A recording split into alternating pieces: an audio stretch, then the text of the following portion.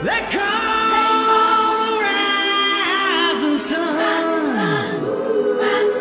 And it's been the ruin of many of.